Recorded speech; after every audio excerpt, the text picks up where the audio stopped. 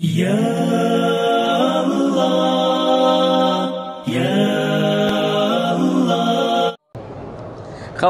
के सर के बाल जो कंगी में रह जाएँ, क्या हुक्म है? निकाल के कहीं दफन कर दें?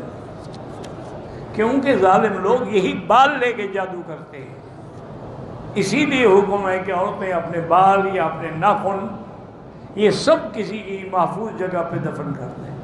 क्योंकि यही चीज़ें वो ले जाती हैं और इन्हीं पर जादू, हजूर पर जो जादू किया गया था, आपके बाल मुबारक ही तो थे।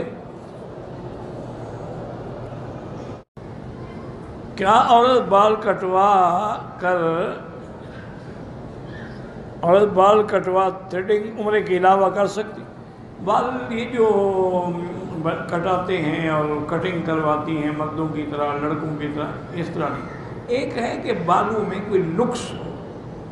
उनकी शाखें निकल रही हैं तो वो थ्रेडिंग करते हैं, उनके सिरों को काट देते हैं ताकि बाल ठीक हो जाए। वो ठीक है। वो तो इलाज है। फ़ैशन नहीं है। मेरी बहन पे काला जादू है, जिन्नात का साया है, बहुत उलमा को दिखाया है।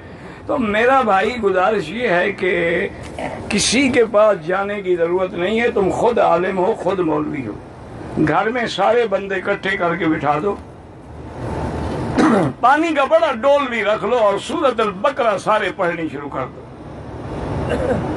सूरत बकरा पढ़ते रहो, दम करते रहो, दम करते रहो। जब खत्म हो जाए, वही पानी उस औरत पे भी, सबको पिलाओ भी, डालो भी, घर में भी डालो। ग्यारह दिन ये पढ़ते रहो, इंशाल्लाह न जादू रहेगा, न जिन्नात रहेंगे। किसी बुज़ुर्ग के पास जाने की ज़रूरत, तुम खुद बुज़ुर्ग हो।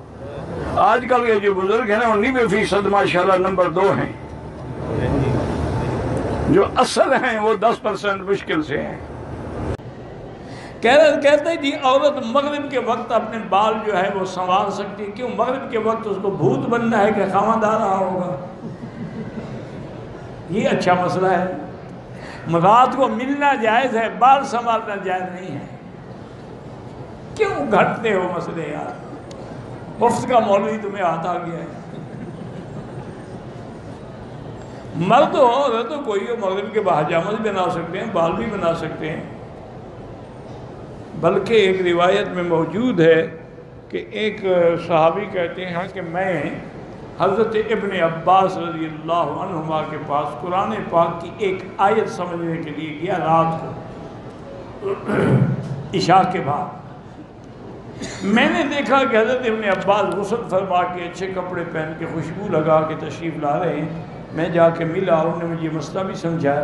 मैंने कहा, हज़रत, कहीं तैयारी है जाने की? फरमाया कि नहीं, मैं घर जा रहा हूँ। कहा कि आप जो कपड़े शपड़े ने कहा तो हम चाहते हैं कि बीवी हमारे लिए बने समरे बीवी नहीं चाहती कि खामन बन समर क्या है तो बीवी का भी तो हक है ये तो नहीं ना खामन के कपड़ों से बदबू के झटके आ रहे हों, वो बेचारी क्या करे?